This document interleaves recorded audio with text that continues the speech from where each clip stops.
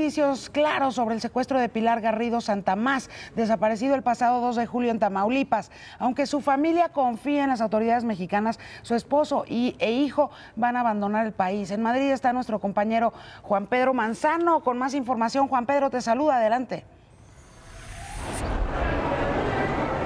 Hola, ¿qué tal Yuri? Hasta ahora podemos hablar de una nueva vuelta de tuerca más en este extraño caso de la desaparición de Pilar Garrido, la española desaparecida hace ya dos semanas en el estado de Tamaulipas. Según informaciones derivadas de su entorno familiar y también de amigos aquí en España, los investigadores podrían haber encontrado restos de sangre en el maletero del vehículo que conducía su esposo.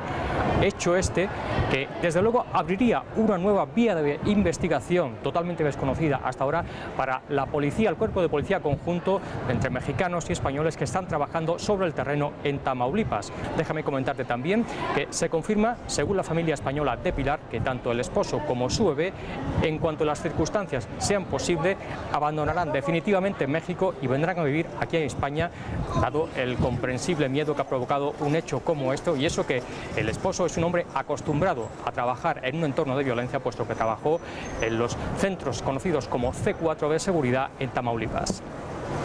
Terrible caso, Juan Pedro. Por supuesto, vamos a estar muy al pendiente e informando todo lo que sepamos sobre este.